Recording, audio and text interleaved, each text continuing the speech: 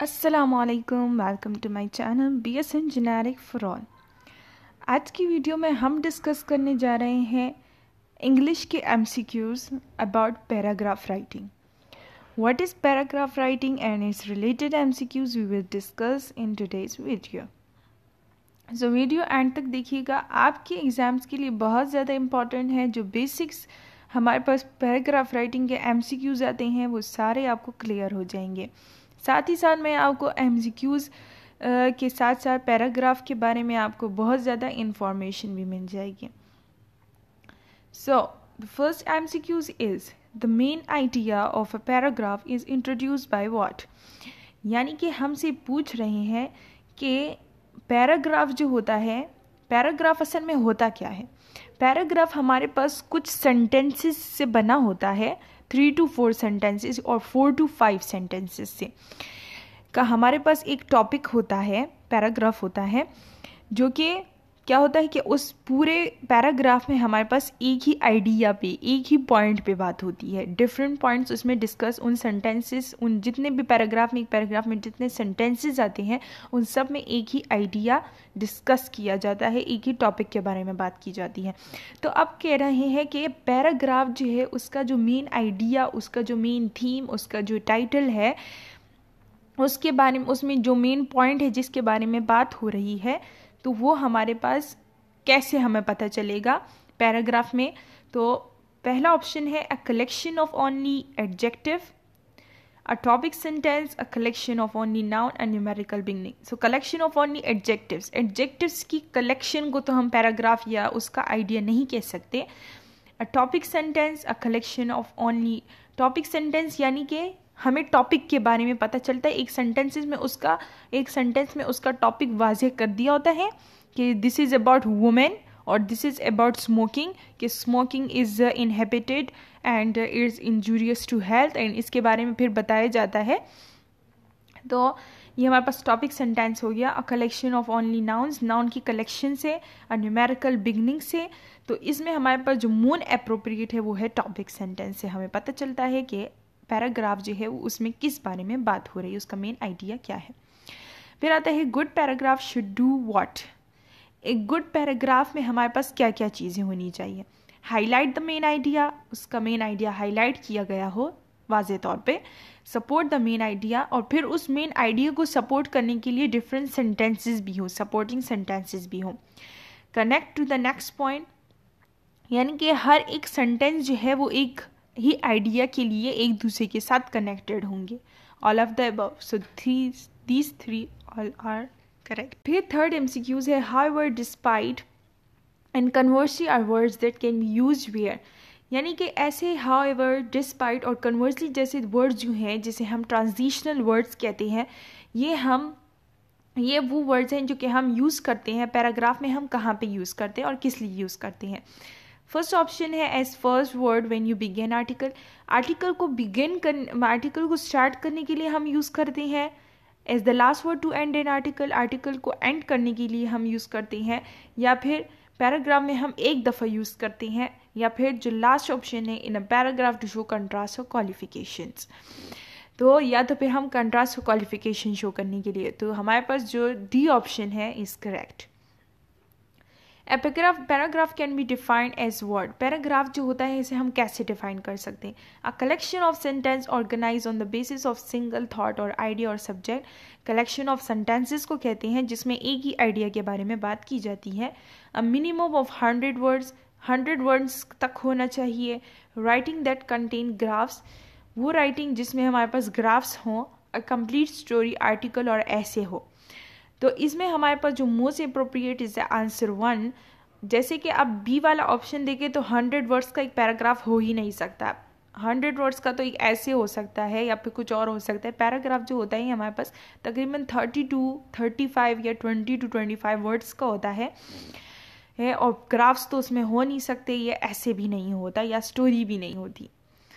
फिर आता है paragraph that are coherent describe a writer thought to be word paragraph जो कि कोहेरेंट होता है तो वो राइटर के describe a writer thought to be word तो वो डिस्क्राइब करता है राइटर के थॉट्स को, कि वो किस तरह के होने चाहिए। कोहेरेंसी जो है, हम कहते हैं, जिसमें हम ट्रांजिशनल वर्ड्स यूज़ करते हैं, उसको हम एक कोहेरेंट पैराग्राफ जो है, उसमें हम ट्रांजिशन वर्ड यूज़ करते हैं फ्रेजेस यूज़ करते हैं की वर्ड्स होते हैं तो उससे हमें ये राइटर के कौन मतलब थॉट्स के बारे में जब पता चलता है तो हमें क्या लगता है कि राइटर्स के किस किस्म के थॉट्स हैं? फ्लावरी थॉट्स हैं ब्यूटीफुल हैं लॉजिकल हैं, या न्यूमेरिकल है?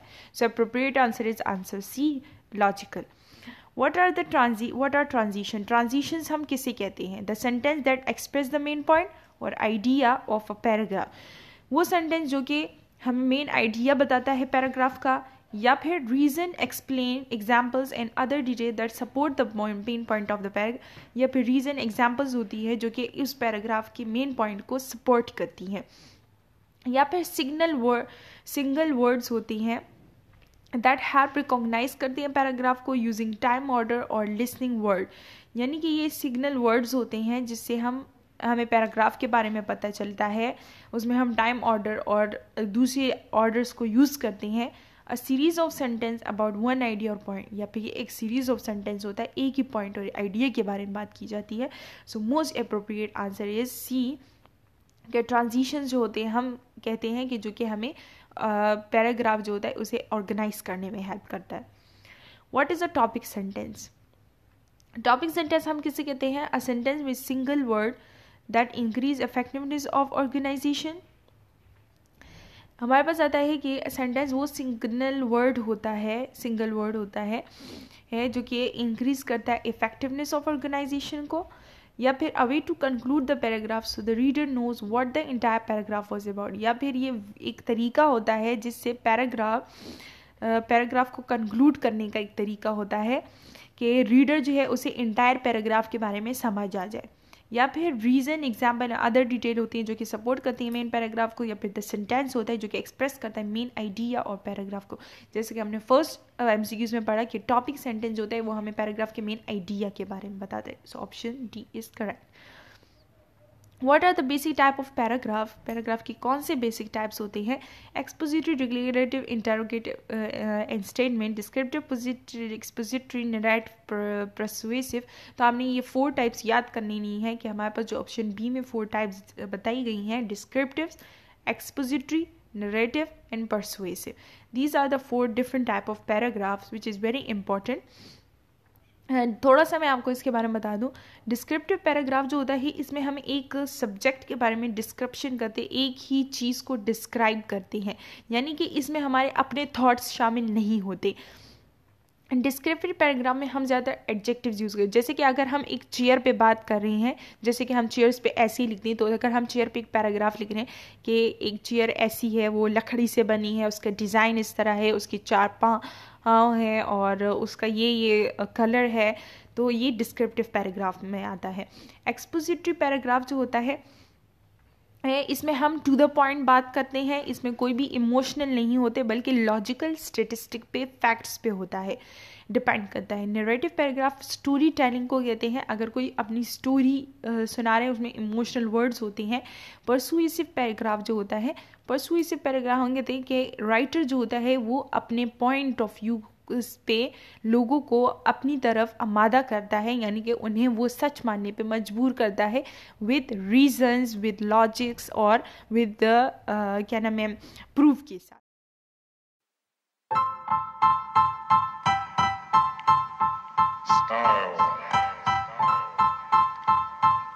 Style. फिर हमारे पास आता है which category of words are necessary well writing a descriptive paragraph descriptive paragraph को लिखते वक्त हमें किस तरह के वर्ड्स यूज़ करने चाहिए? ये ज़्यादा ज़रूरी है।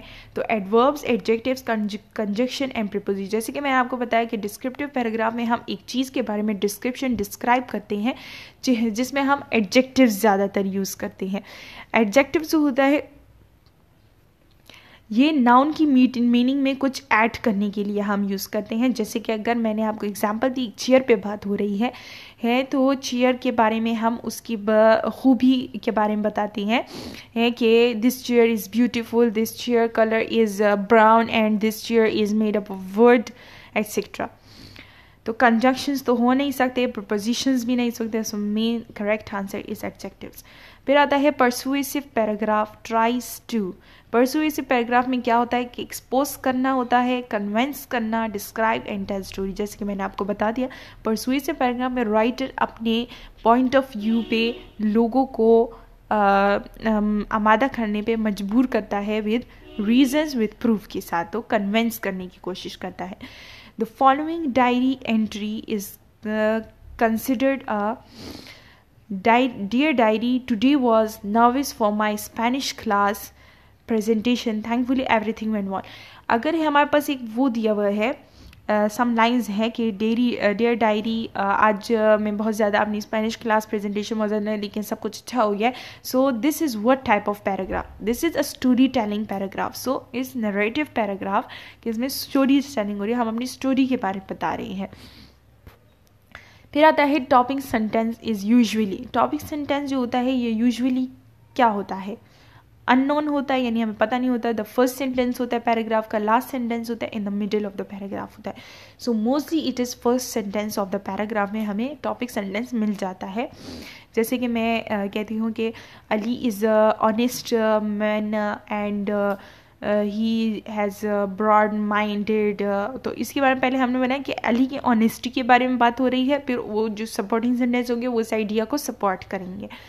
फिर how many sentences should a great paragraph contain एक ग्रेट पैराग्राफ में हमारे पास कितने सेंटेंस होने चाहिए? सो मिनिमम हमारे पास, जो मैक्सिमम हमारे पास मतलब जो दरमियान मिडल ऑर्डर अगर हम देखें तो फाइव सेंटेंसेस तकरीबन होनी चाहिए।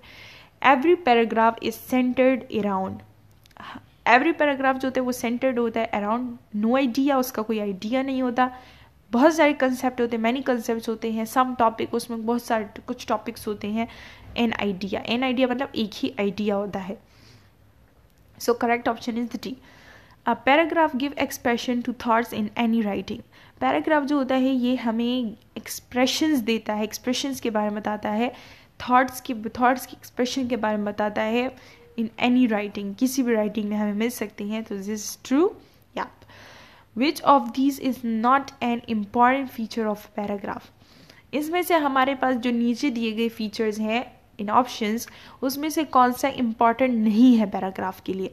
तो पैराग्राफ की लेंथ बहुत ज़्यादा मैटर करती है ब्रेथ मैटर नहीं करती है यूनिटी अगर हम औरों को देखें तो यूनिटी होनी चाहिए पैराग्राफ में। यूनिटी के यानी कि जितने भी सेंटेंसेज वो एक मेन आइडिया को सपोर्ट करनी चाहिए उसके मुतालिक। तो दिस इज़ यूनिटी कोहेरेंसी होनी चाहिए, यानी कि उसमें ट्रांजिशन वर्ड्स जो हम यूज़ करें, या फिर क्या नाम है, वो एक ही टॉपिक के अराउंड बात की जा रही है। दिस इज़ अ कोहेरेंसी तो ब्रेड जो होता है वो ज़रूरी नहीं है छोड़ाई ज़रूरी नहीं है। अब paragraph should contain short sentences a paragraph जो होता है, उसमें हमारे पास शॉर्ट शॉर्ट सेंटेंसेस होते हैं। या तो this is true and average length of sentence in a paragraph should be paragraph में जो एक सेंटेंस होता है, उसकी एवरेज लेंथ कितनी होनी चाहिए? अबाउट कितने वर्ड्स की होनी चाहिए? Fifteen to twenty words twenty to thirty two to five और फाइव टू टेन वर्ड्स तो फिफ्टीन टू ट्वेंटी वर्ड्स हमारे पास होने चाहिए एक सेंटेंस में। Which of this is not a feature of paragraph ये जो हमारे पास ऊपर वाला ये ये पैराग्राफ की बात नहीं हो रही कि पैराग्राफ में कितने वर्ड्स होने चाहिए। पैराग्राफ का जो एक सेंटेंस है तो वो कितना लंबा होना चाहिए। तो तकरीबन फिफ्टीन टू ट्वेंटी वर्ड्स होनी चाहिए उसमें। Which of this is not a feature of a paragraph इसमें से कौन सा फीचर नहीं है पैराग्राफ का? लेंथ मैंने आपको का मैटर है। यूनिटी मैटर करती है। इन कोहरेंस एंड करेक्टनेस तो करेक्टनेस तो मैटर करती है इन कोहेरेंसी मैटर नहीं करती, बल्कि कोहेरेंसी मैटर करती है। So option C is correct which of this should be avoided in paragraph इसमें से हमारे पास गिवन ऑप्शन में से क्या हमने अवॉइड करना है पैराग्राफ में? क्वार्टिसी क्वार्टिसी हम कहते हैं कि एक नरम लहजे में बात की जा रही है रिस्पेक्टेबल लैंग्वेज फॉर्मल लैंग्वेज हम बात कर रहे हैं तो क्या ये अवॉइड करना चाहिए? नहीं। पॉजिटिव एटीट्यूड होगा पैराग्राफ में जिसकी में आप बात कर रहे हैं जिस अंदाज में तो पॉजिटिव एटीट्यूड क्यों होगा? या तो हम इसे अवॉइड नहीं कर सकते। डिस्क्रिमिनेटरी लैंग्वेज होनी चाहिए या फिर डिस्क्रिमिनेट लैंग्वेज यानी कि डिस्क्रिमिनेटरी लैंग्वेज यानी कि हमें जो है वो गलत बात करनी चाहिए नेगेटिव एटीट्यूड के साथ बात करनी चाहिए तो क्या ये हमें अवॉइड करना चाहिए? या फिर पोलाइटनेस अगर हम नरमी से कोई अल्फाज लिख रहे हैं सॉफ्ट वर्ड्स में पैराग्राफ लिख रहे हैं तो क्या वो अवॉइड करें? जो discriminatory paragraph is something different तो अवॉइड करना चाहिए। Where should the main idea be put up in a paragraph में? हम मेन आइडिया कहाँ पे रखते हैं? बिगनिंग में मिडल में एंड में, या आफ्टर द पैराग्राफ तो हम usually topic sentence is the beginning when do you use supporting detail or supporting sentences हम कब supporting detail और supporting sentences use करते हैं before the first sentence and the introduction introduction के first sentence से पहले after the last sentence because it help you summarise the paragraph last sentence के बाद हमने टॉपिक सपोर्टिंग डिटेल देनी है ताकि हमें समरी uh, आसानी से मिल सके पैराग्राफ की। Never use these in paragraph because they are for ऐसे ओनली हमें सपोर्टिंग डिटेल यूज़ ही नहीं करनी चाहिए क्योंकि ये ऐसे के लिए बनी गई है। After the topic sentence and before the closing sentence की हम टॉपिक सेंटेंस के बाद में और क्लोजिंग सेंटेंस से पहले हम नहीं करनी है। तो ऑप्शन डी इज़ करेक्ट कि हमारे पास सेंटेंस पैराग्राफ जो होता है, उसमें हमारे पास तीन मेन चीज़ें होती हैं।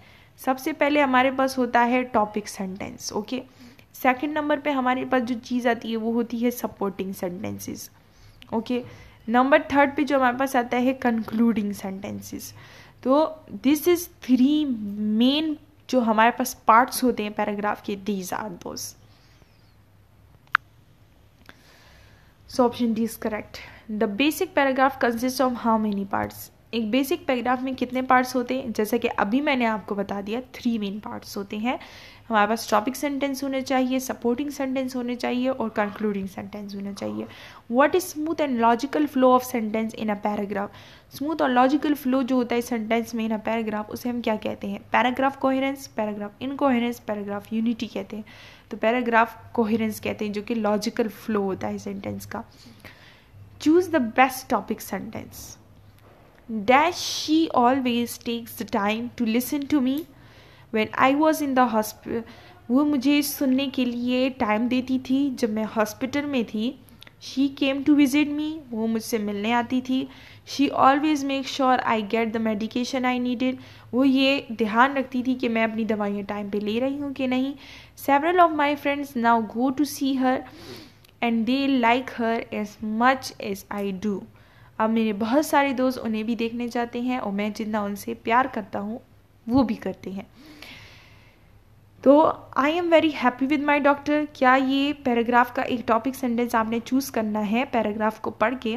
तो I am very happy with my doctor क्या मैं अपने डॉक्टर से बहुत ज़्यादा खुश हूँ? It is hard to find a good doctor अच्छा डॉक्टर मिलना बहुत ज़्यादा मुश्किल है. Seeing a doctor has become very expensive